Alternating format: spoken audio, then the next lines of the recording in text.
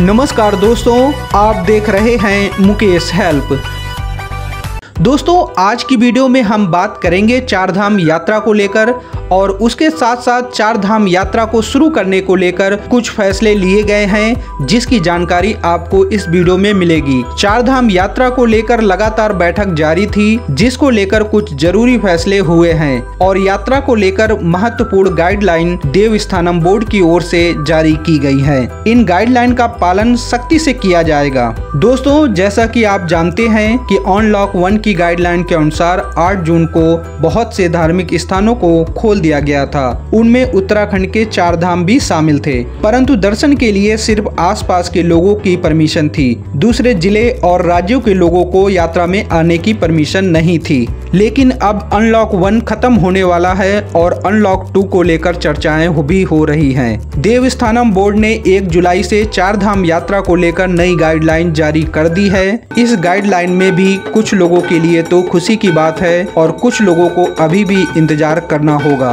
अगर आप यात्रा पर जाना चाहते हैं तो वीडियो को अंत तक ज़रूर देखें, क्योंकि इस वीडियो में आपको बहुत ज़रूरी जानकारी मिलने वाली है, जिसके बगैर आप यात्रा में नहीं जा सकेंगे। तो आइए जानते हैं विस्तार से नई गाइडलाइन में श्रद्धालुओं के लिए क्या मैसेज है।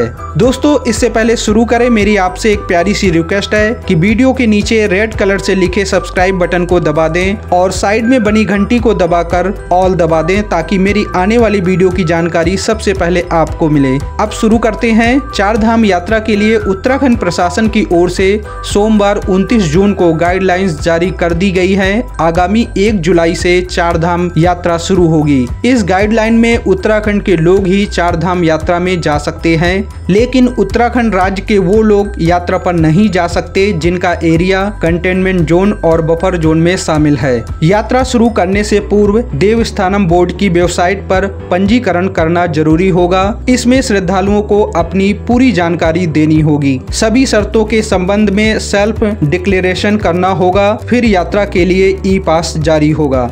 हर धाम में केवल एक ही रात्र ठहरने की इजाज़त होगी। किसी भी आपदा की स्थिति में स्थानीय प्रशासन की अनुमति लेनी होगी कोविड 19 के लक्षण वाले व्यक्ति यात्रा नहीं कर सकते।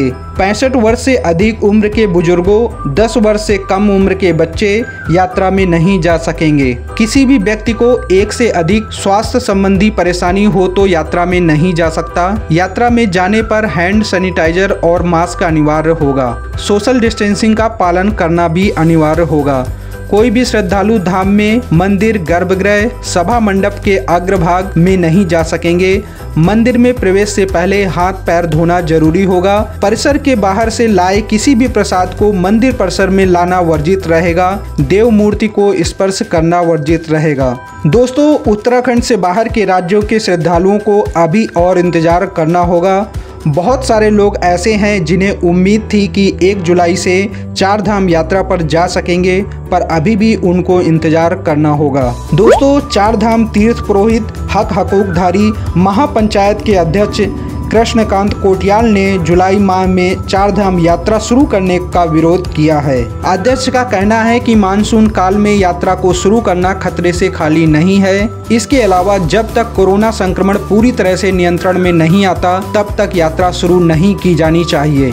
दोस्तों चार धाम यात्रा से संबंधित सभी अपडेट में हमारी नज़र है। अगर कोई भी बदलाव होता है तो उसकी जानकारी आपको वीडियो के माध्यम से मिल जाएगी। इसलिए आप चैनल से जुड़े रहें और अगर चैनल को सब्सक्राइब नहीं किया तो चैनल को सब्सक्राइब करके बेल आइकन ज़रूर दबा दें ताकि चार धाम की नई जानकारी सबसे पहले आपको मिले। वीडियो अच्छी लगी है तो लाइक ज़रूर करें और आगे भी शेयर करें ताकि ये जानकारी सभी तक पहुँच सके। फिर मिलते हैं एक नई वीडियो में। आप अपना ख्याल रखें। जय हिंद, वंदे मातरम।